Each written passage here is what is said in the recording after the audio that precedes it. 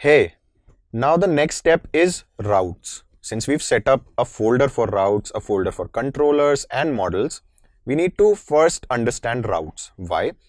Because routes is the entry point of all the requests from browsers, right? It is the dictionary or it is the place where you get to know which controller function or action is to be called. Okay, action might be a new keyword right now, but we'll go through it soon. So just taking a look at it, for example, there is one route which handles all the direct URLs over here. For example, this could be home, this could be contact, or this could be about. So these are all the about, uh, all the core level or the root level routes, root level URLs. But what if there is a set of URLs which have a common parameter in them or a common part in them? So common part say users. Now users slash profile, users slash edit. Before that there would be users, let's write it over here, uh, users slash create, okay, and so on. Now you see this part is the common part. Now what if I just put all of these three parts and put it in one line. And I said if it points to users then take me to another route file which is like users.js and there all these three create edit and profile are to be found. Okay. This is why we divide the routes. It could be users it could be posts as in facebook posts it could be likes it could be uh, comments. Everything has a create everything has an update everything has a delete right? So for the first step, let's just go ahead and set up the basic routes. Now, uh, as mentioned earlier, we are dividing our Express controller and route into two parts. Let's see how it looks like. Okay. All right. Let's just clear this and yeah. I'll go to routes and I'll create a new file. I'll name it index. Now this index.js is my entry point to all the routes. If I look at it, my app index.js, this file will send in a request to my routes slash index and this will further route it to all different route files which would be there. So initially we are just looking at this. So we have created this index.js and there would be further files below this and those would be used for further routing, okay, further URLs all right. So i have index.js there is a module called express router. How does it look like? Let's see.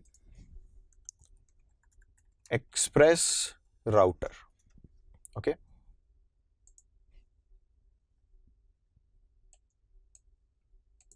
Now let's look at the documentation. Why we are looking at the documentation? Again the synonym of this course is how to google till now we've been doing this. app.get app.get app.post now app.all means all the requests which are coming in all the methods.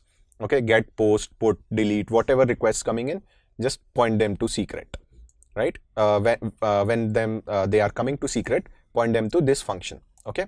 So if it is uh, get to secret post to secret or anything it will point to this function. Now moving further there is something called router in Express. So express.router.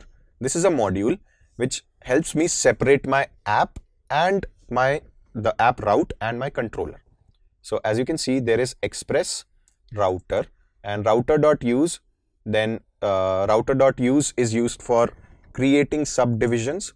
No need to just get uh, overwhelmed by this. This is just an explanation. We'll be using it and we'll be getting more clarity there is router.get just like app.get was there the url and the function. Okay? The url and the function. This function is my controller. I'm going to put it in another file which is going to be my controller file. Okay? Now let's come back and do a little bit of code over here. I have uh, my vs code open and i'll just do. This is index.js inside routes, this file. I'll create, uh, close the other index.js. So my index.js in routes, what it will do is, uh, it will import express or require express. Okay autocomplete is there to our rescue. Yes now one more thing to remember. As i mentioned earlier every time i do require express it will not create a new instance of express. It will just fetch the existing instance. So when my app this index.js gets loaded this index.js also gets loaded. Both are calling express both are calling express. Express is created or required only once. When this instance is created the same instance is passed on whenever I require express for the second time. Okay. Now, the next step is um, constant router is equal to express dot router and I'll just call it. Okay. All right. And the final thing is that I need to do module dot exports is equal to router. I need to export this to be available to index.js. Where are we going to use it? We'll see that. Before that again, exports and module.exports till now we've learned that they do the same thing. But herein it will not do the same thing if I just write exports is equal to router. How? We'll look at it later on. But for now, we'll do module.exports is equal to router. Okay. Now, once we've exported this router, we need to tell app to use it. Remember we used to do app.get, app.post. So we need to tell app that all the get, post and everything will be handled by this module now. Okay. So the next thing which I need to do is, let me just add a comment. Use express router. Okay. And I'll do app.use again a middleware before the server starts up. It needs to access this route. So app.use and for any further URLs which would be defined in this file, I'm just routing the home part to it and I'll require, I can directly require over here also dot slash, dot slash means in the same path routes. Now I can just do routes or I can do routes slash index. It by default fetches index, so I can just do routes. Let's try running our server and see if there is any errors. No, it hasn't started up yet. It is up. Okay, server is running. How do I know if this file was loaded? Let's do a console.log router loaded. Okay.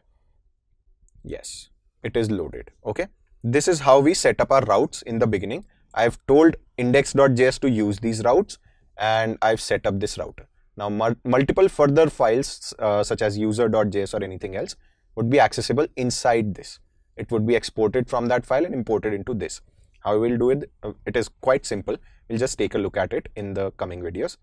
All right, just practice this part. Uh, there is nothing to visually see, but in the next part, we'll set up a controller and access it. Okay, all right. Thank you.